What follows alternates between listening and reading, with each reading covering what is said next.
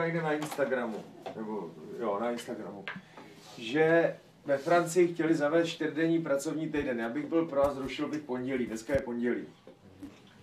Je to skoro zrušený pracovní den. A ještě musím točit politický komentář o debatě Babiše s Pavlem. Přičemž jeden je polobotomý, Babiš, zcela evidentně. A druhý mu je všechno jedno, to je ten Pavel. Já nevím, co mám říkat. Stalo se něco zásadního? Tak uděláme nějaký zprávy.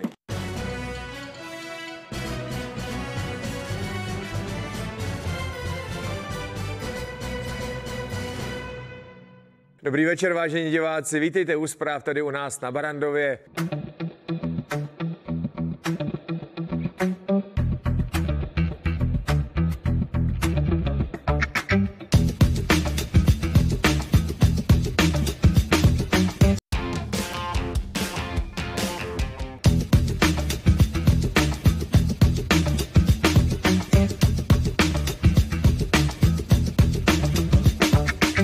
Dneska se budeme bavit, prosím vás, s panem doktorem Pospíšilovým, který ho mám hrozně rád. Nevím, jestli mu tím nedávám polibek smrti, ale je to hrozně bezvadný chlap, vzdělaný chlap, myslím, eh, bývalý předseda Topky a ministr spravedlnosti. Budeme se bavit o Praze.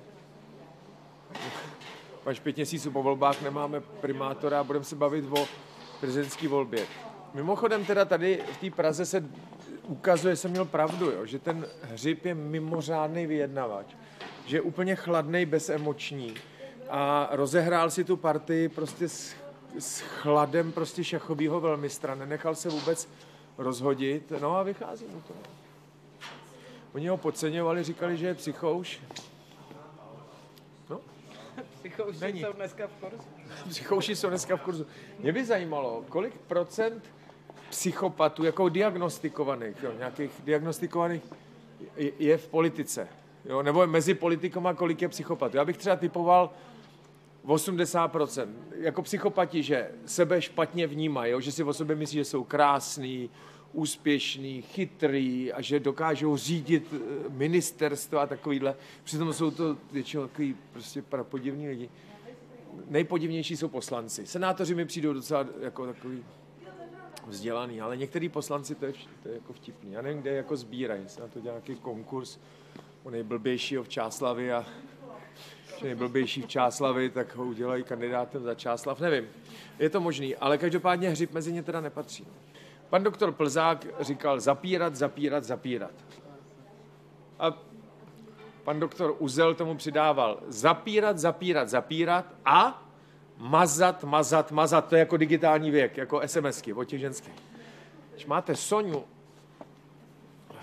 v adresáři jako Karla, přijde ti srdíčko, tak je to ještě horší, než kdyby to bylo jako Sonja. Tak, jsou moudraž. Takhle je to se mnou furt. Tak prosím vás, kde máme pana doktora? Ahoj Milošku, čau, čau. Jo, dva dny, no tak jsi to viděl na Instagramu. Agata furt něco dává na Instagram. Ale to, se, to jsem viděl, ty konce přišel to před monitor a já říkám, červený, pak říkám, máme opálený. No, ty vole, jako svítí tam služka, jak mi to trošku, ale já, jak se, já se hrozně jako dobře opaluju, Jo, víš, jo, takže mě se to hned chytne, ale od malička. Je to vidět teda. Ale od malička. Já jsem byl na sluníčku.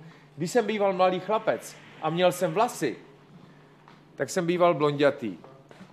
Teď mám málo vlasů, ale zase nejsou šedivý. Ale od malička se mě chytne sluníčko. Ne. A když do hněda, ale. Včera jsem byl jako rajče, dneska jako hnící rajče a zítra zase budu bílej. no to mám takhle, no. Prostě vylezu na slunce a... Tak prosím vás, a kde je pan doktor Pospíš? Nám se hyhňaj a tady politika stojí. Dobrý večer, vážení diváci. Vítejte u pásma politických komentářů na Barandově. U pořadu JS Live je pondělí krátce po 8. Já jsem si pozval dnes hosta, jehož nadhledu, zkušenosti a schopnosti věci komentovat si mimořádně vážím a to je ten hlavní důvod, proč se snažím ho zvát tak často, jak jenom to jde. Pan doktor Jiří Pospíšil. Dobrý večer, pan doktore. Krásný večer, pane řediteli, vám i divákům.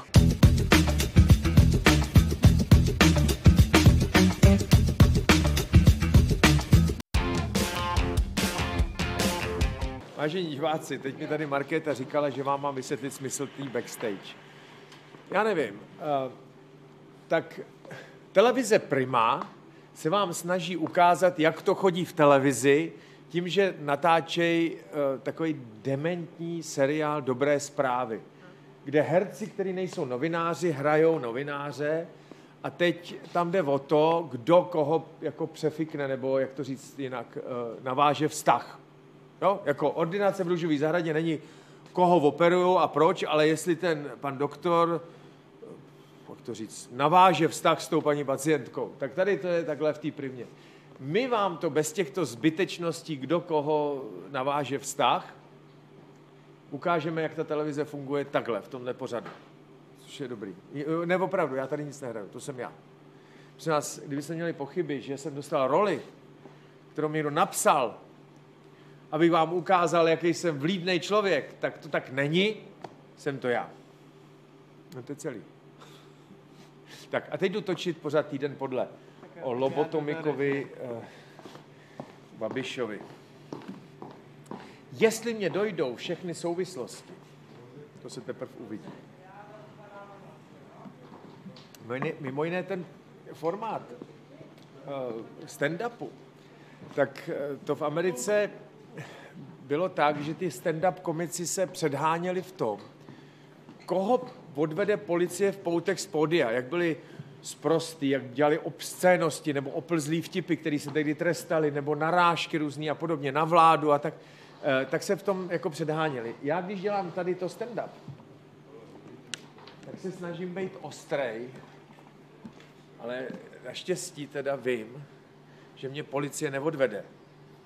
Což máme jako zase výhodu oproti Americe v 60. letech. No, ostrej. Chlapci, máte to připravený? Já nemám připravenýho nic, nemám čtecí zařízení, nic. Čtecí zařízení někdy používám, ale ne na politiku. Na třeba pořád devadesátky. To používám čtecí zařízení. U čtecího zařízení, prosím vás, když jsme mluvili o tom seriálu, je, není důležité ani tak ten, který čte, to umí každý. Tak dobře, musíte číst a dát to nějakou intonaci a dávat tomu tečky a interpunkci a důraz. To není tak složitý. V zákulisí sedí chlapík, který s tím textem šoupe na té obrazovce. A když vám s tím šoupe blbě, moc rychle, moc pomalu, tak je vám celá interpunkce na prd.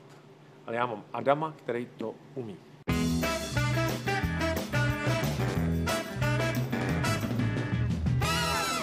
Dobrý večer, vážení diváci, vítejte u politický stand-up Jaromíra Soukupa, to jsem já.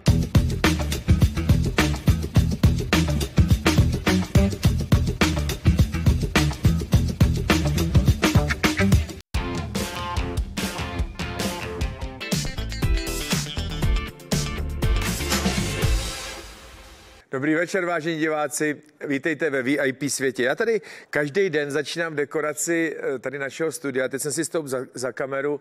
Ano, bude to znamenat to, že si tady ten pořád vymyslím. Napíšu, odehraju, natočím si to, jak, jak budu točit sám sebe, nevím, jak to udělám. Eh, prodám si reklamu, eh, zametu si jeviště, zhasnu a půjdu domů. Jinými slovy, budu si to dělat celý sám.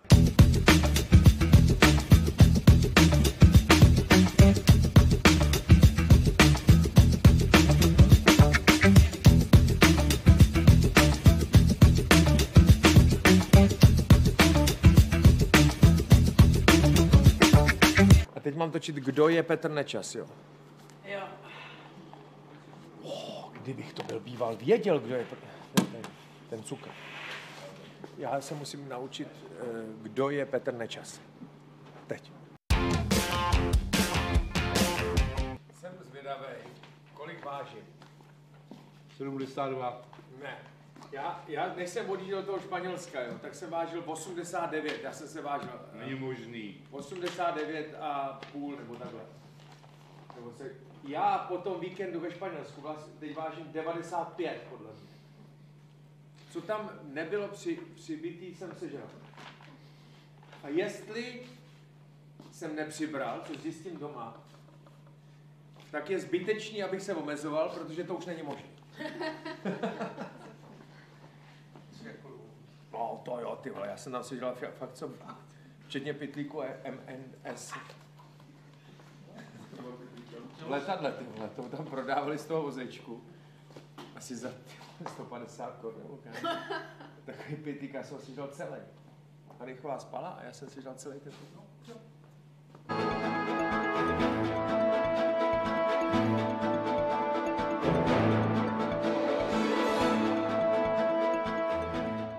Dobrý večer, vážení diváci. Vítejte u pořadu Kdo je.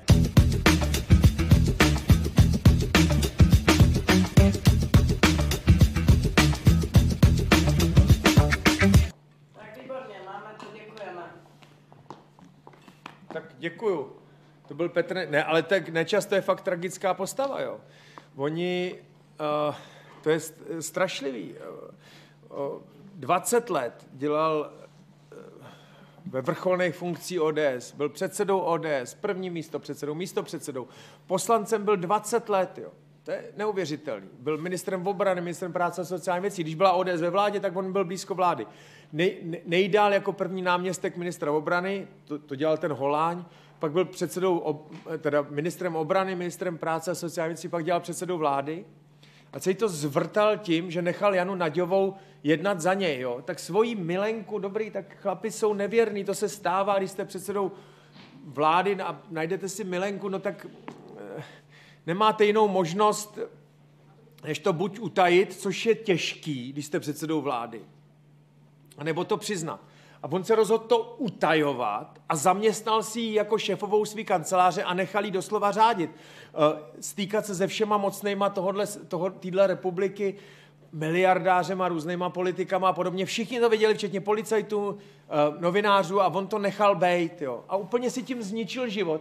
A navíc to vypadá, že on si toho zase tolik moc jako neukrát s tou naděvou, protože pracoval pro bizarní firmu toho sehnala, jo, ten, ten prapodivnej majitel toho akvaparku Čestice, který si koupil politickou stranu a teď se snaží někam kandidovat, pro ně pracoval. Jo.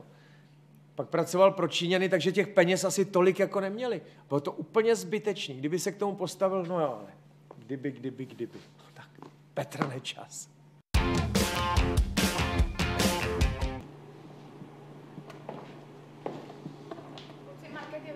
Dobrý den. Dobrý den.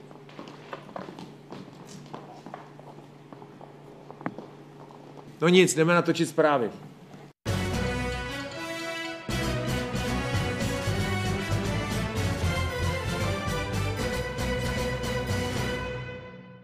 Dobrý večer, vážení diváci, vítejte u zpráv tady u nás na Barandově, což je moje obvyklá věta, kterou říkám 365krát v roce.